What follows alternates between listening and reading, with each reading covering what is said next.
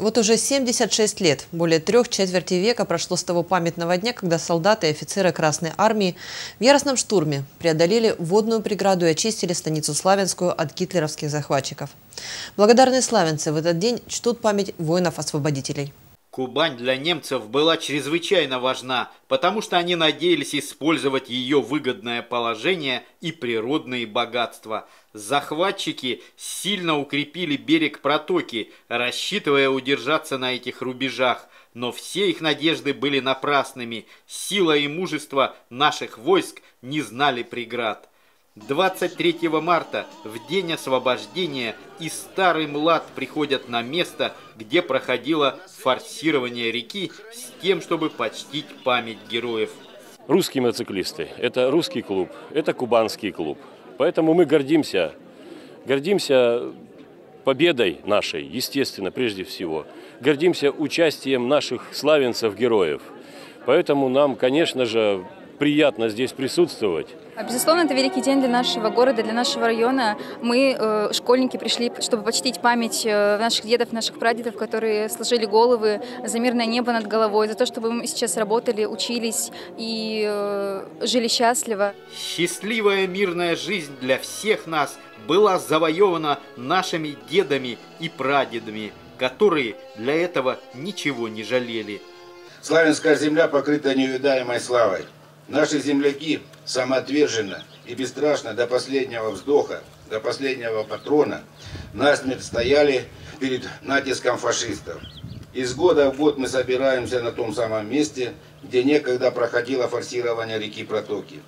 Самые искренние слова прозвучали в этот день в адрес солдат Победы и их потомков. Были и поэтические строки от славянских школьников – Берегите отчизну, без нее нам не жить. Берегите ее, чтобы вечно ей быть. Нашей правдой и силой, нашей гордой судьбой.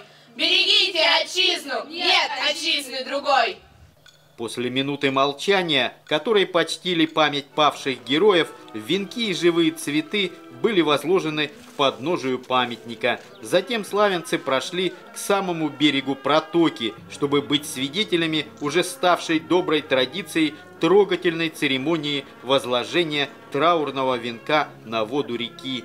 Венок, покачиваясь на темной весенней воде, плыл по течению под звуки печальной музыки – Празднование освобождения продолжилось в парке 40 лет Победы в центре города.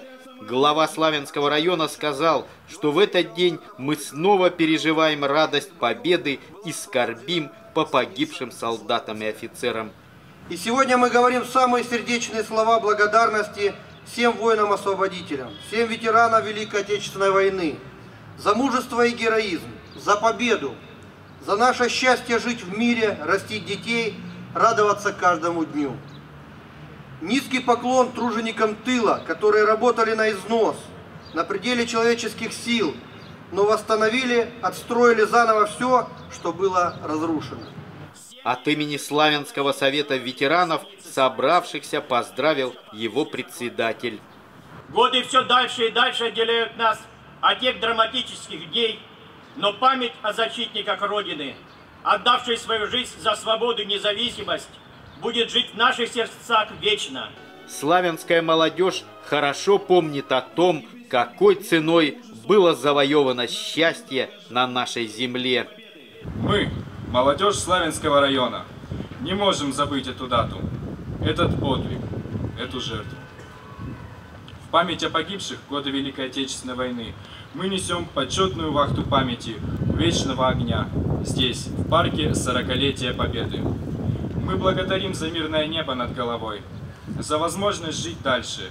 Митинг завершился возложением венков и цветов к Вечному Огню и к памятникам героям.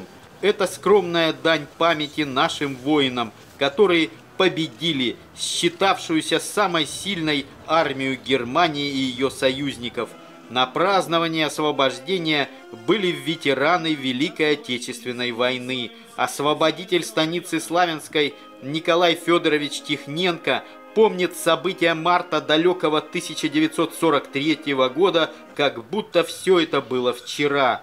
Вот как была организована переправа через протоку. Плав... средства, то есть понтоны, и разместили их вдоль берега, связали друг с друга, нижний конец зафиксировали неподвижно, а верхний конец оттолкнули от берега, и весь этот связанный столб э, понтонов поплыл, и последний его этот э, понтон пере, приблизился к противоположному берегу, воткнулся к берегу и образовался мост. И по этому мосту мы двинулись.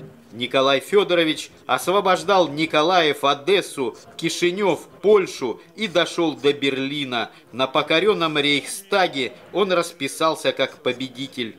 Дали возможность осмотреть Рейхстаг. Мы обошли все комнаты, посмотрели. И на стене я написал «Мы из Армавира и фамилию и имя отчество. Ну, мог бы написать «Мы из Славянска», так как мы освобождали из Славянска. После Великой Победы он прожил большую жизнь, окончил нефтяной институт, много работал, в том числе и в Славянском районе.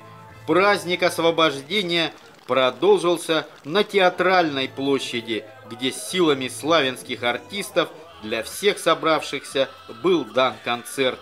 Мы все прошли через пламя и дым, погибшим славой снова живым. Победа, победа, мы верили, мы знали победить. Андрей Вишневский, Игорь Ванчугов, программа «События».